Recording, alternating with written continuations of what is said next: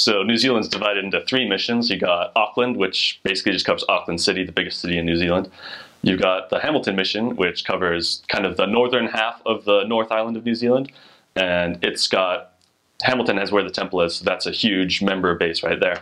And then you have the Wellington mission, which is the biggest geographically. It's got the entire lower half of the North Island and all of the South Island. And because of that, it's the most rural, it's really the most spread out, and it's also the mission where the church is the smallest, or you could say weakest.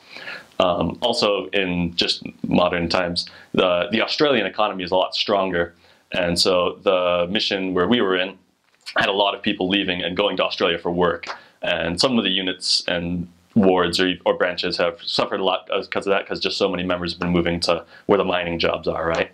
But the church's history in New Zealand was actually, is actually quite strong. It's the Maori language, which is the language of the indigenous Pacific Islanders. The, it was one of the first languages, really. I want to say it was the fifth, but I might be making that up. Um, one of the earliest languages, though, that the Book of Mormon was translated into.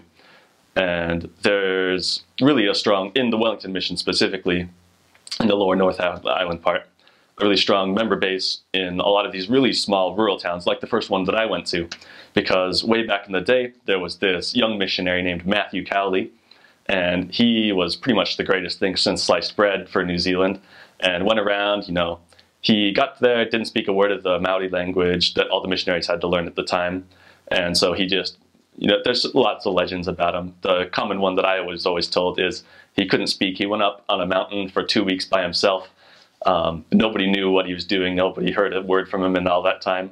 And then he came down two weeks later speaking fluent Maori, not only fluent, but better than any of the tribal chiefs or anyone could speak because he was he had learned it, you know, his gifted tongues. It was supernatural. It was a miracle, right?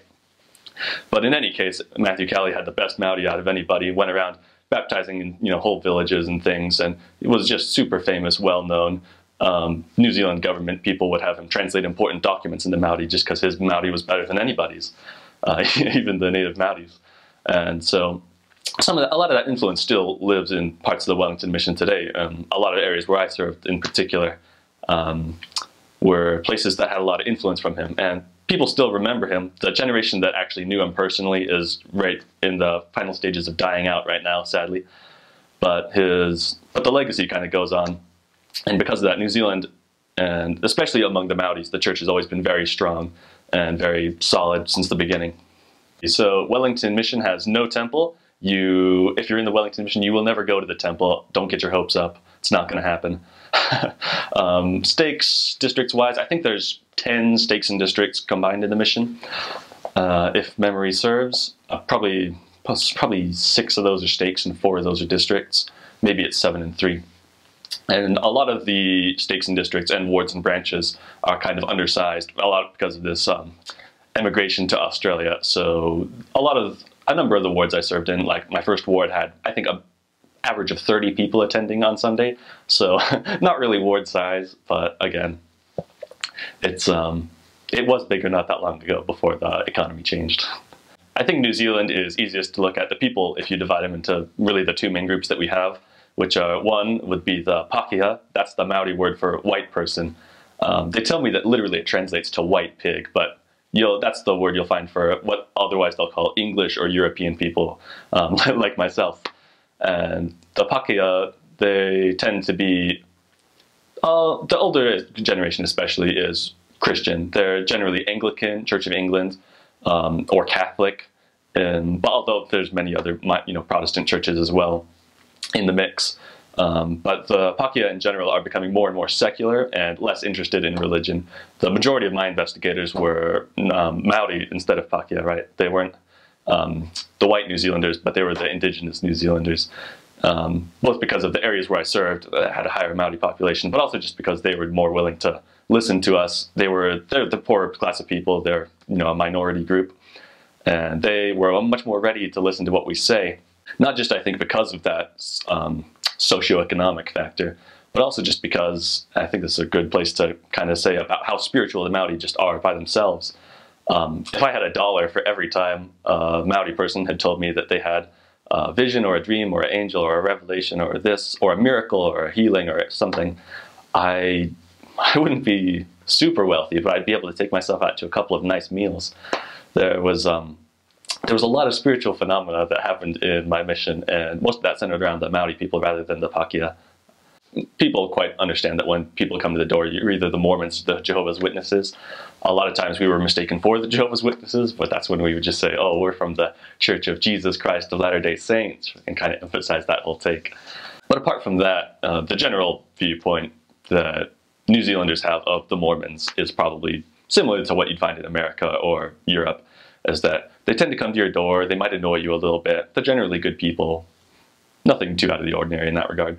So I served from July 2013 to July 2015.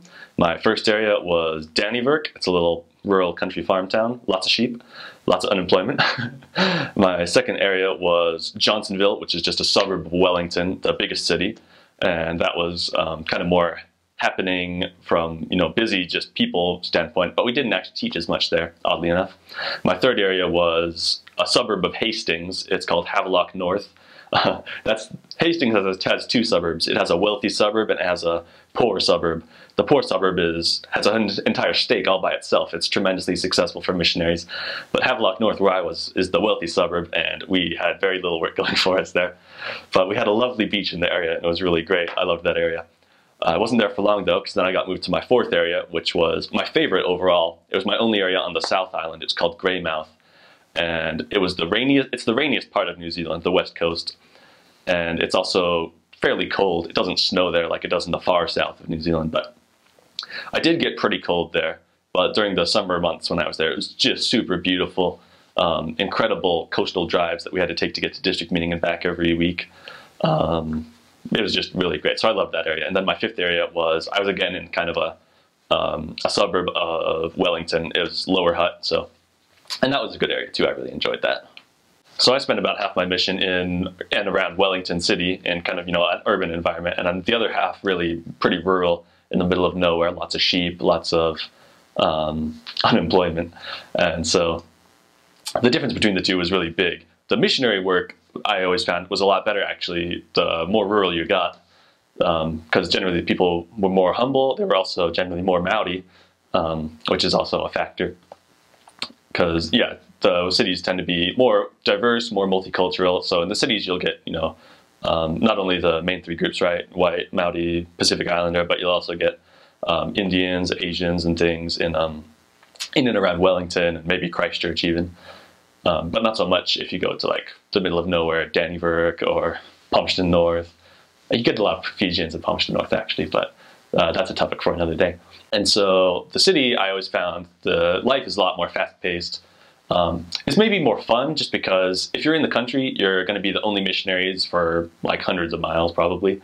And you don't always get to like do things with other missionaries on P days and stuff. Whereas if you're in the city, you're going to be around other elders. You're going to be able to have a game of touch rugby on P day or some basketball or a card game if you all got really bored and it was raining.